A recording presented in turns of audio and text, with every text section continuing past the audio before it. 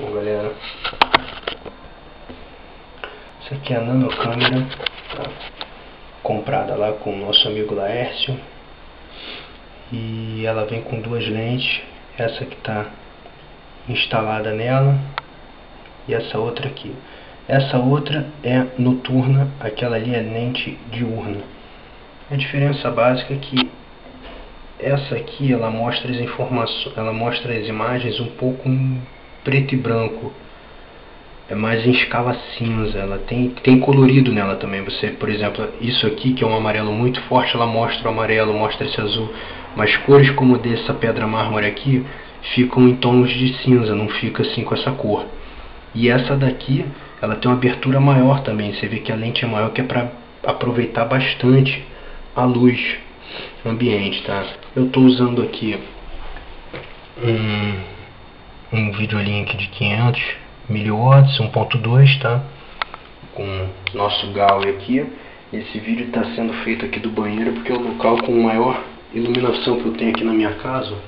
Tem uma duas três lâmpadas fortes um, num ambiente pequeno que eu posso facilmente botar de noite aqui. Só apagar que fica um breu total.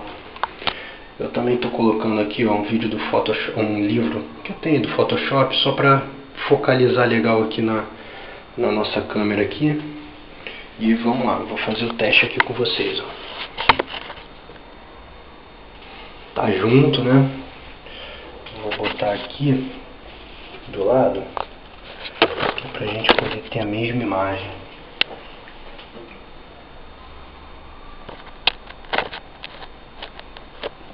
É, não vai dar porque eu não tenho como escurar. Mas enfim, vai dar para vocês terem uma bela noção do que eu estou falando. Aqui a gente tem ó, o livro, temos aqui uns registros e aqui ó, uma linhazinha que divide a pedra do banheiro. Tá? É mais ou menos a imagem que eu acho que a gente tem aí pela nanocâmera. Eu vou botar um do lado do outro, vou apagar a luz e vamos ver o que, que vai dar. Ó. Primeiro com a lente diurna.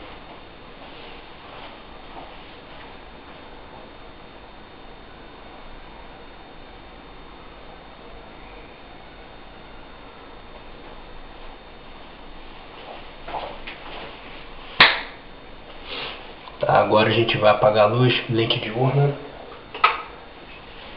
Pode notar que com a câmera que eu estou gravando para vocês, que é uma Olympus FE330, fica completamente escuro, não dá para ver nada. Mas já com a nano câmera vocês vão ver que dá para dá pra enxergar. Não dá para enxergar muito bem, mas dá para enxergar, ó, minha mão passando, dá para enxergar o, o livro do Photoshop. Agora eu vou fechar a porta para ficar um pouco mais escuro, tá? Vou deixar um pouco fechado. A gente já nota que a câmera, nanocâmera já não é tão eficiente com essa lente. Agora a gente vai trocar, apesar de estar tá vendo bastante coisa.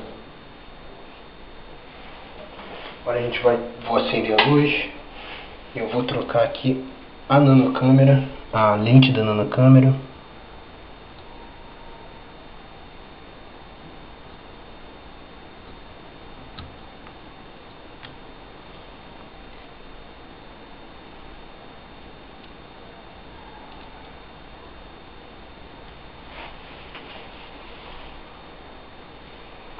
Vocês podem ver praticamente a mesma imagem, né? temos o mesmo tom. Vou botar aqui na frente uma camisa vermelha, para vocês conseguirem enxergar. Beleza. Agora a gente vai apagar a luz vamos ver a diferença. Agora ela está com a lente noturna.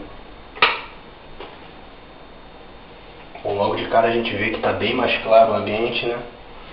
Novamente com a câmera que eu estou filmando para vocês de fora, sem ser da nanocâmera. Tá totalmente escuro, um brilho total, a gente não consegue enxergar nada. Eu vou passar minha mão aqui na frente. Vocês vão ver na nanocâmera. Agora eu vou fechar a porta para fazer aquele outro teste de novo.